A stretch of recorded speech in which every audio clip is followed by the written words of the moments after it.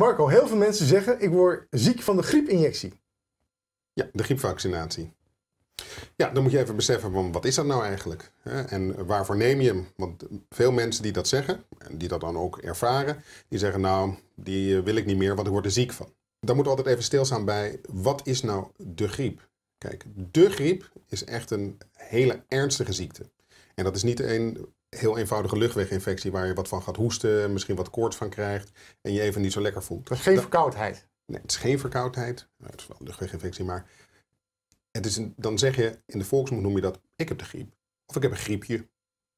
Maar ik noem de griep altijd, uh, nou, je kan je voorstellen, hè, voor iedereen die, die de cartoons kent. Je hebt allemaal mensen staan en daartussen staat opeens de Hulk. En die is hartstikke groot en hartstikke sterk en die kan alles kapot maken. Nou, dat is de griep. En wat doe je nou met de vaccinatie? Dan neem je of een geïnactiveerd virus of een deel van het virus, zodat mocht die aankloppen bij je systeem, dat je je meteen kan wapenen tegen die enorm grote griep. Want vergeet niet, de echte griep, de Spaanse griep in 1918, die heeft meer dan 100 miljoen mensen het leven gekost wereldwijd. Meer slachtoffers geëist dan de hele Eerste Wereldoorlog bij elkaar. En dat is de griep. En de griep, die wil je niet. En daar krijg je een vaccinatie tegen.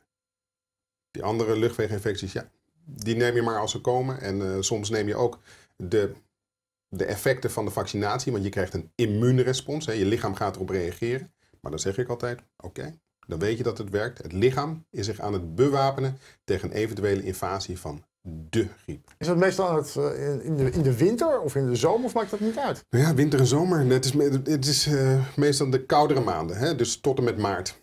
Oktober, november, december, januari, februari, maart. En in Amsterdam bereidt men zich in ieder geval voor op een langdurige griepperiode. Misschien vanwege het relatief milde weer.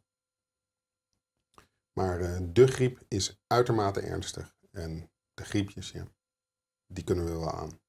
Slaat een griep over in een longontsteking of is dat totaal iets anders? Je kan een virale longontsteking krijgen, hè, want de griep is een virus. Maar dat is relatief uitzonderlijk. En uh, de longontsteking waar we echt over praten, dat zijn bacteriën in je longen die zich uh, ja, gaan voortplanten daar en voor allerlei ernstige ziektebeelden kunnen zorgen. Maar dat is te bestrijden met antibiotica. Aan de ene kant virus, aan de andere kant bacteriën. Heel veel mensen denken van, wat is nou het verschil? Een bacterie kan zichzelf voortplanten en een virus kan dat niet. Een virus is een klein stukje DNA dat op de een of andere manier in de cel weet te komen, zich inbouwt in het, uh, DNA van de cel en daar gaat zeggen, ga mij voortplanten. Marco. Alex. Dank. Beste kijkers, de volgende keer Dr. George bij Participatie TV in het Engels. Best viewers, next time Dr. George in English. At Participatie TV. Thank you. Heeft u vragen? Dan kunt u ze richten tot drgeorge.medischebijsluiter.nl